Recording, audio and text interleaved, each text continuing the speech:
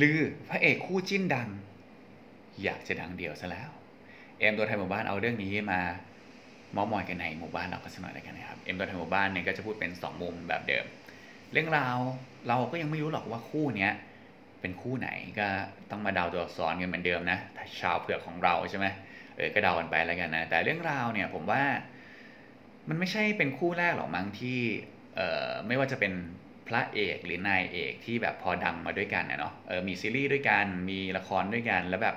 เออถึงเวลาดังแล้วอะอยากจะแยกออกมาดังเดี่ยวไม่อยากแบบต้องออกงานจิ้นตลอดเวลา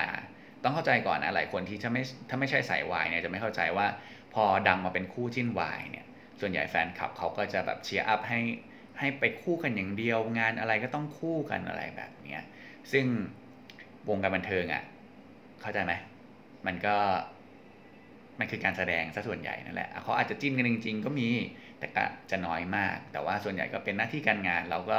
เป็นคนเสพสื่อเสพวงการบันเทิงเราก็ต้องควรจะเข้าใจอยู่แล้ว แต่ก็มีหลายคนที่ไม่เข้าใจที่ไปดราม่าเวลามีประเด็นแบบนี้อะไรต่างๆ นานานะเออคือคู่วายเนี่ยเขาจะพอดังมาด้วยกัน ไม่ว่าจะงานไหนออกอีเวนต์ถ่ายโฆษณาหรือว่าต้องไปเล่นเรื่องอื่นเนี่ยสามารถคือแทบจะไม่สามารถแกะออกจากกันได้ไงเข้าใจไหมเออบางทีพอ พอเริ่มมีชื่อเสียงไประยะหนึ่งแล้วเนี่ยบางคนที่ไม่จอย ก็อยากจะแยกออกไปรับงานเองอันนี้ถึงกับข่าวเนี่ยเขาเขาบอกว่าถึงกับบอกกับผู้จัดการว่าเอออยากจะไปบินเดี่ยวนะ อะไรแบบเนี้ยก็เดากันแล้วกันนะครับว่าเป็นใคร ผมก็ไม่รู้ เพราะฉะนั้นเดามาแล้วคอมเมนต์มาบอกผมด้วย แต่ผมเข้าใจนะเรื่องแบบเนี้ยอืม คนที่ทำงานจริง ๆอะมันไม่ว่าจะเป็นคู่ไม่ต้องวายคู่ธรรมดาอะไรเงี้ยมันก็มีมานักตอนนักแล้วที่เขาเชียร์ให้แบบ จิ้นกันจริง ๆ หรือว่ารักกันจริง ๆ อะไรแบบเนี้ยก็ซึ่งก็มีก็มีที่เป็นไปได้ แล้วก็ส่วนใหญ่ก็จะไม่เป็นใช่ไหมเพราะว่าชีวิตใครชีวิตมันอยู่แล้ว แต่ในการทำงานเนี่ยก็ต้อง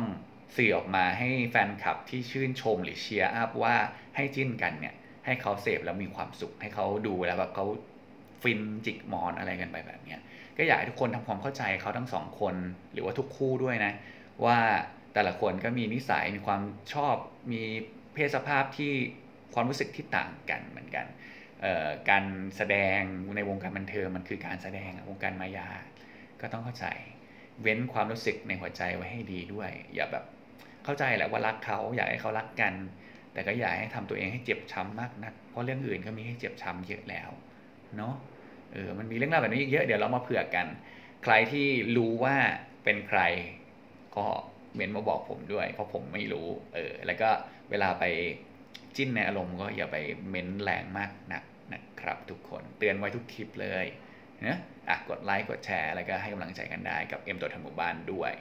แล้วก็อยากให้คอมเมนต์ด้วยนะว่า อยากให้ทำคลิปสไตล์แบบไหน หรือชอบแบบนี้อยู่แล้ว ชอบผมหรือเปล่า โอเค แล้วเจอกันใหม่คลิปหน้าครับผม